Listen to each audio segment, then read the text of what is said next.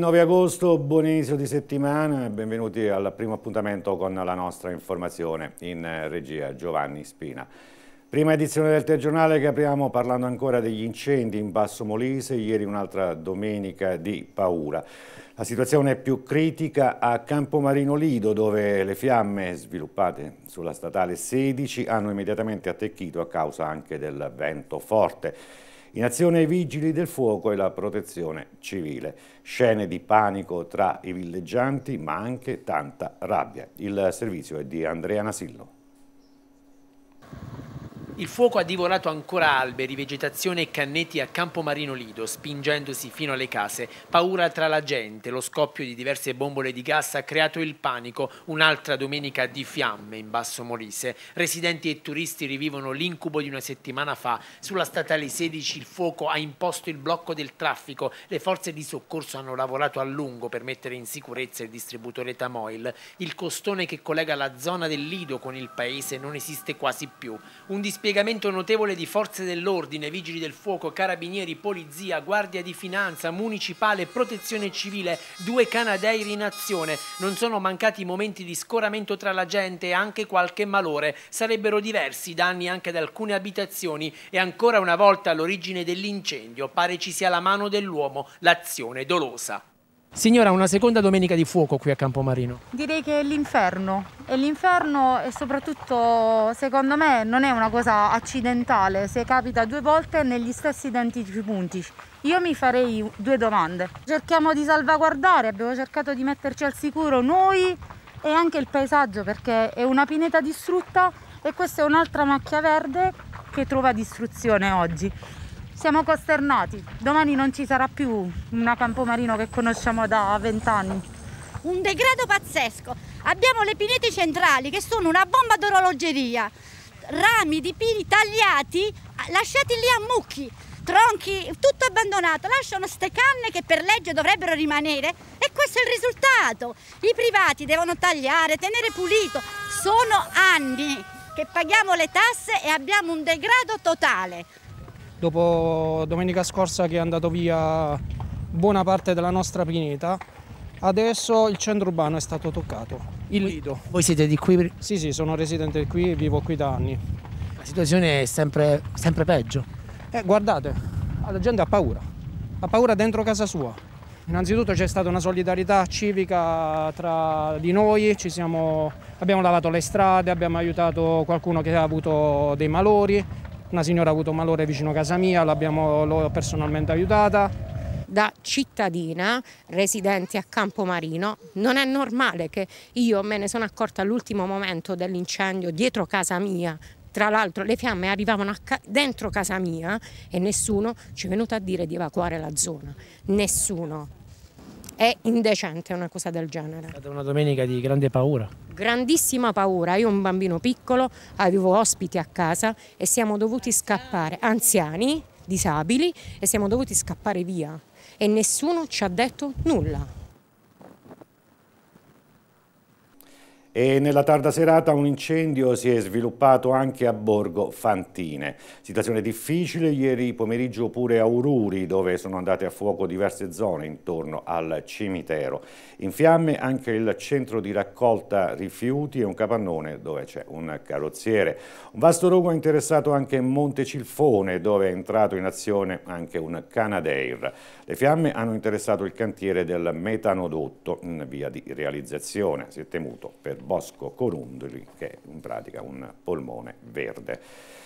Adesso cambiamo argomento, ci occupiamo del Covid, con il bollettino diffuso ieri dall'ASREM, 4 positivi su 54 tamponi refertati, uno a San Massimo, uno a Termoli, un cittadino francese e uno proveniente dal Lussemburgo. Due i ricoverati a malattie infettive, nessun decesso e nessun guarito. Bene, possiamo rientrare in studio, ci fermiamo con la nostra informazione. Adesso uno sguardo ai quotidiani.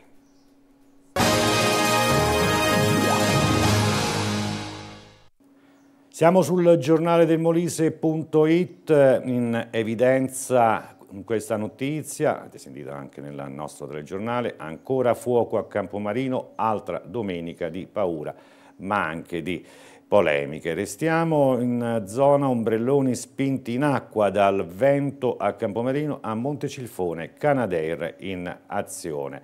Nelle ultime ore da Capracotta si registra questa notizia, donna scivola in un dirupo salvata dal 118 e dal soccorso alpino. Intanto, sempre nel centro dell'Altissimo Molise, un positivo, Capracotta, un positivo al tampone rapido, il sindaco invita a rispettare le regole. Ci spostiamo su Futuro Molise, in primo piano i dati e i contagi, i contagi da Covid, 4 positivi e 2 ricoveri, dal bollettino di ieri.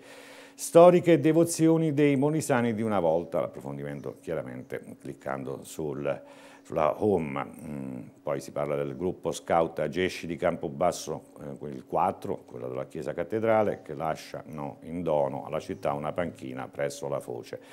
Ieri anche il messaggio del sindaco di Campobasso Roberto Gravina per la giornata del sacrificio del lavoro italiano nel mondo, si parla della strage di Marcinelle, della tragedia di Marcinelle in Belgio. A Campomarino Lido è ancora un inferno di fuoco, è il titolo che apre l'edizione di oggi di Primo Piano.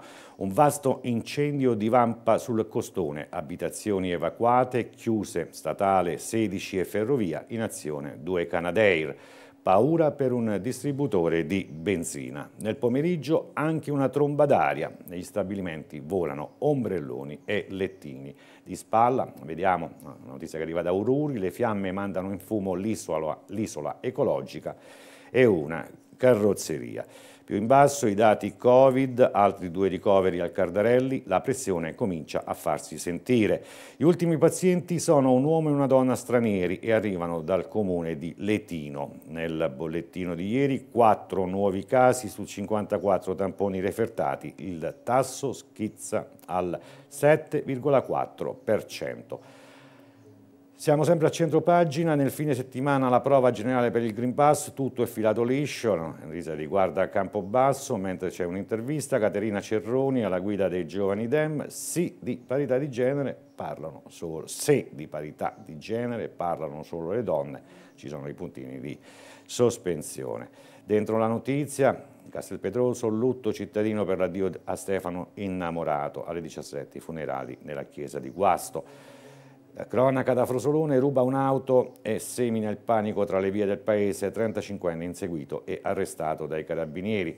E purtroppo ancora furti a Boiano, nel fine settimana eh, i ladri svaligiano tre appartamenti. Alessandra Longano oggi firma l'editoriale L'immagine di una Italia normale ma straordinaria ed è un focus sulle Olimpiadi di Tokyo. In alto lo sport. Il Campobasso, oggi gironi e calendari di Serie C. Magri dice contento di essere tornato in rosso-blu. Nel calcio di eccellenza l'Isernia mette a segno il colpo a effetto. Torna Bomber Panico. Fine la pallavolo, la Energy Time riparte da Maniscalco e ingaggia il Forte Parisi.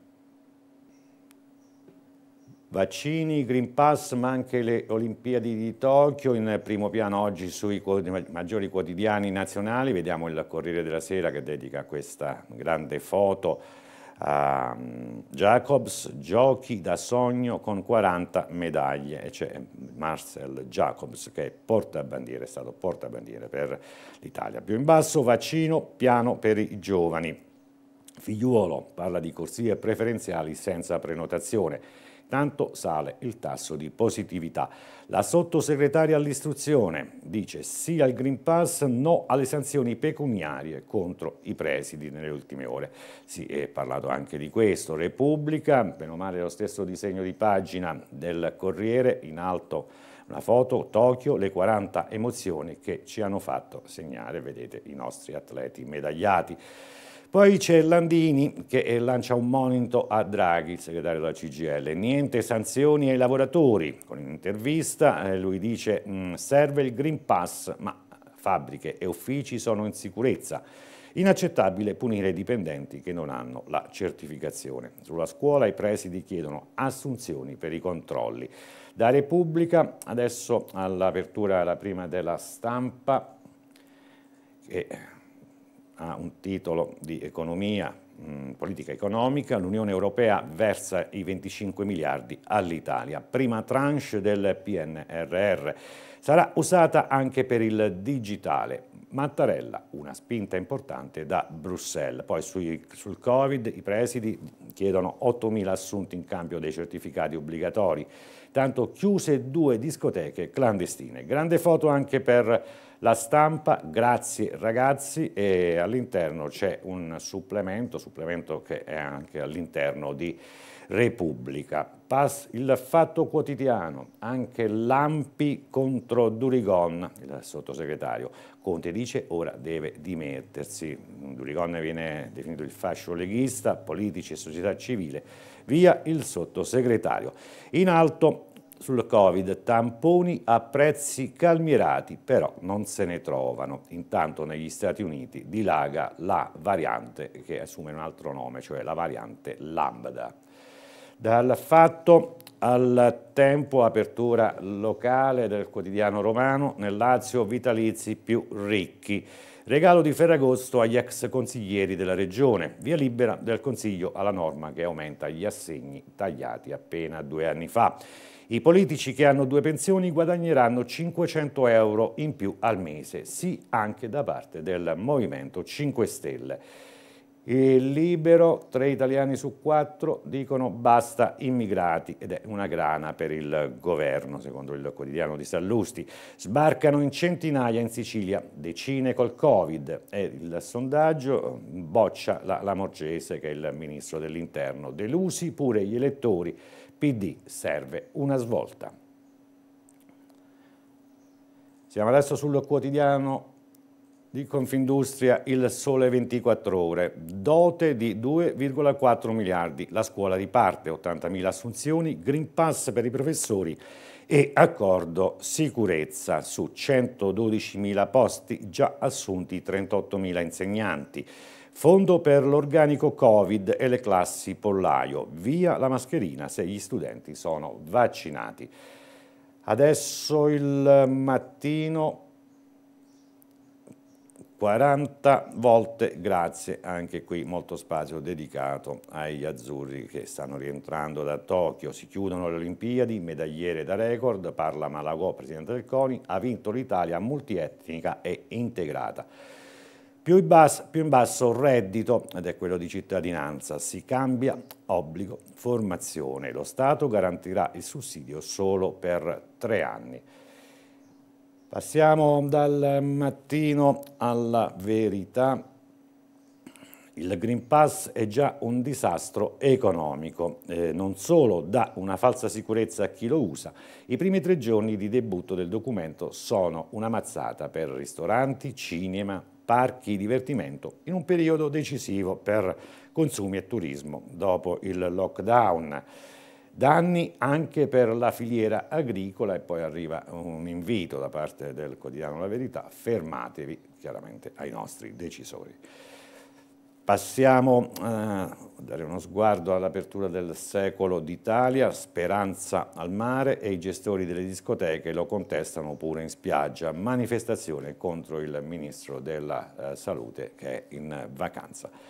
La Gazzetta dello Sport, i migliori giochi della nostra vita, indimenticabile Tokyo, l'Italia dei record fa festa. Jacobs fulmina Bolt e dice mi aspettavo un messaggio da lui e ora non devo buttare via i soldi. Azzurri, almeno un podio al giorno, l'ultimo è il bronzo delle farfalle. L'atletica è da 10, pesi, Ganna e compagni le, e le arti marziali tra i promossi. In basso c'è lo sport, con l'addio eh, di Messi e, e eh, al campione gli viene da piangere, poi sul Paris Saint Germain dice io non mi volevo muovere. Intanto in casa Italia, Inter, c'è eh, la 9 per Geco e un piano per Vlahovic. Si studia la maxi offerta. Poi il calcio giocato, quello d'estate, Pjanic fischiato, più vicino alla Juve, con il Barça è KO la Juve, ha perso 3 a 0. Bene. Anche questa mattina con eh, la Gazzetta terminiamo l'appuntamento, il primo con la nostra informazione che torna alle 14 con la seconda edizione del telegiornale. Grazie per averci seguito, vi auguro una buona giornata, arrivederci.